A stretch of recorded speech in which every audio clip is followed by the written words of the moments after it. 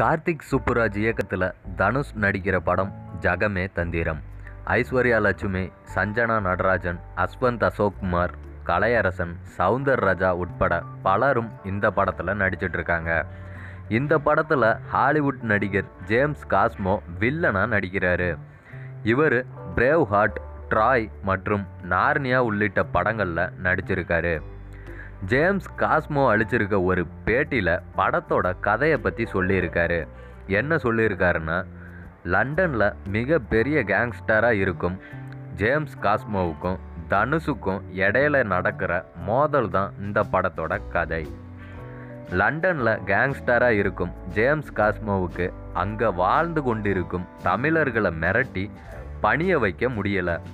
இதனால் சென்னையில் கேங்ஸ்டராக இருக்கிற தனுஷை லண்டனுக்கு வர வைக்கிறாரு.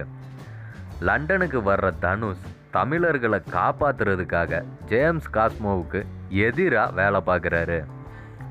ஜேம்ஸ் காஸ்மோவின் ஹாலிவுட் ரேஞ்ச் பிளான்களை லோக்கல் பிளானை வச்சு தனுஷ் எப்படி முறியடிச்சிருக்காரு அப்படிங்கிறது தான் ஜகமே தந்திரம் படத்தோட கதை.